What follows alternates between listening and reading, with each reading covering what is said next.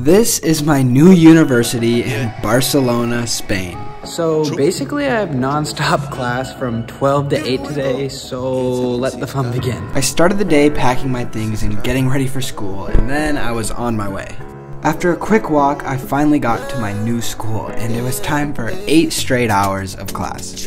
Class 1 was decent, but my Wi-Fi wasn't working. First class complete. I'm doing good. Class 2 felt very long, but I got through it. Class 2 complete.